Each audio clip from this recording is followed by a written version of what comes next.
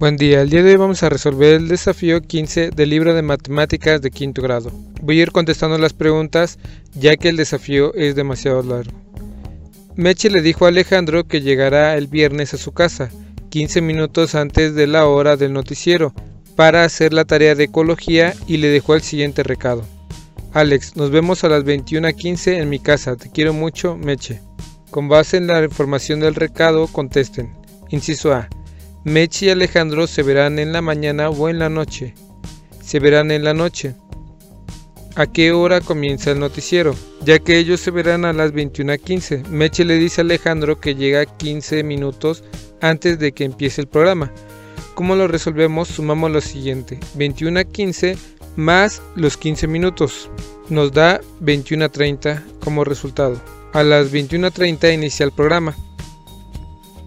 Escriban todas las formas diferentes para representar la hora a la que empieza el noticiero.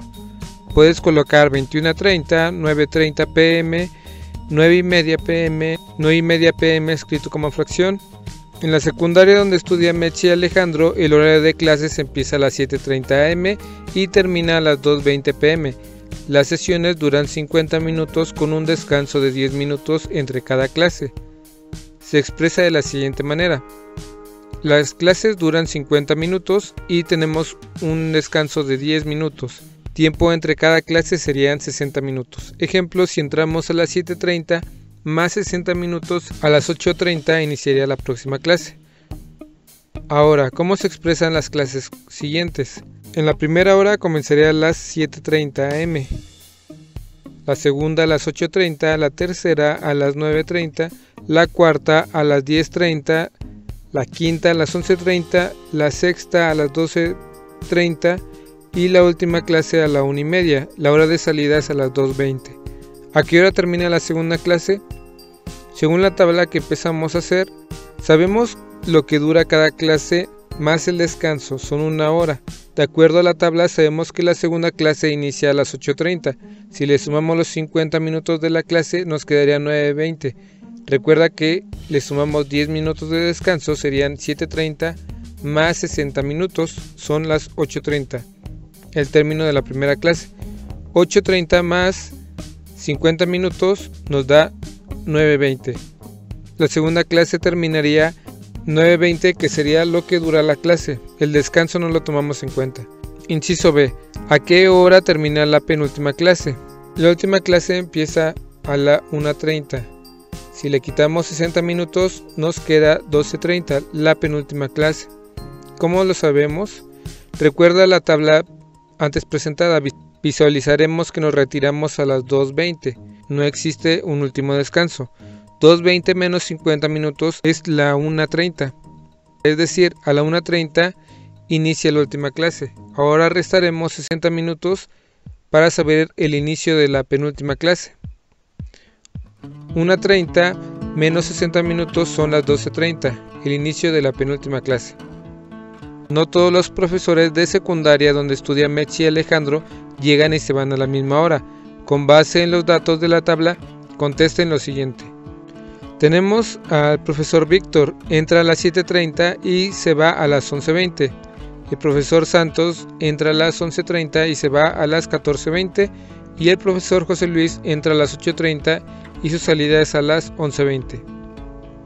Si el profesor Víctor asiste todos los días a la escuela con el mismo horario de trabajo, ¿cuánto tiempo permanece en la escuela durante la semana?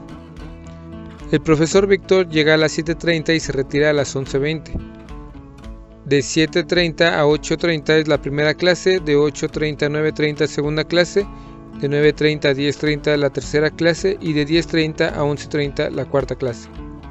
Si sumamos las horas del profesor, Víctor permanece 4 horas. Permanece 3,60 menos los 10 minutos del último descanso serían 3,50. Ahora el profesor Víctor permanece en la escuela 3 horas con 50 minutos y asiste 5 días a la semana. Ahora el profesor Víctor permanece en la escuela 3 horas con 50 minutos y asiste los 5 días de la semana. Si sumamos lo de lunes, martes, miércoles, jueves y viernes de 3 horas con 50, nos daría como resultado lo siguiente. Vamos a sumar las horas y los minutos de manera independiente. De las horas serían 15 horas y de los minutos serían 250. Ahora bien, 250 minutos, si lo dividimos entre 60 para saber las horas, nos daría un total de 4 horas con 10 minutos. Si sumamos 15 horas más 4 horas con 10 minutos, nos da un total de 19 horas con 10 minutos. Inciso B. El profesor José Luis tiene libre los miércoles, los demás días llega a la escuela una hora antes para preparar sus materiales de biología. ¿Cuánto tiempo permanece diariamente en la escuela?